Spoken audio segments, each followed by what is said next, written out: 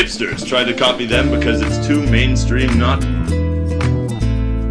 They are incapable of being tardy. The last time they tried, they invented late start days. They called Dr. Ruggles Kyle, and he's cool with it. They turned in a Wikipedia article to Turnitin.com. They cost the same with or without an ASB sticker. They use clean bathroom stalls because those are the only ones they can find. Lori asks them for rides in the golf cart. They never say YOLO.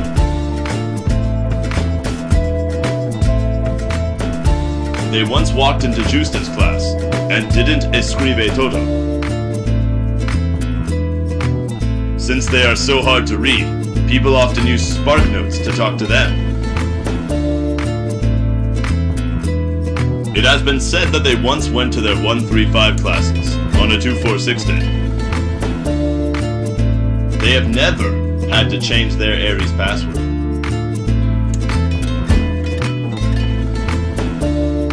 They are the most interesting tea in the world.